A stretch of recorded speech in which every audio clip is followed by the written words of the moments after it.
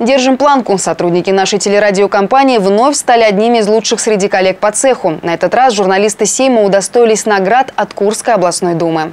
2015 год получился насыщенным на события. 70-летие победы в Великой Отечественной войне, Среднерусский экономический форум, ежегодная Коренская ярмарка, открытие новых социально значимых объектов региона. Везде на передовой информационного фронта журналисты телерадиокомпании «Сейм». Подведение итога – это стало традицией в Курской областной думе. И я вам хочу сказать, что с каждым годом становится труднее и труднее, потому что очень много участников, очень интересных многих материалов, и практически выделить какой-то лучше становится все сложнее и сложнее. Ожиданий много, потому что нас ждет совершенно другая работа.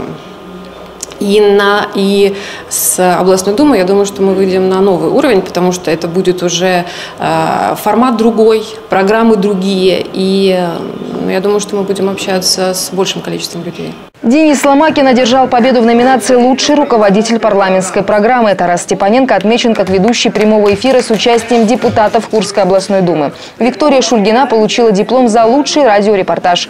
Кстати, среди радиостанций наши коллеги единственные в числе триумфаторов конкурса.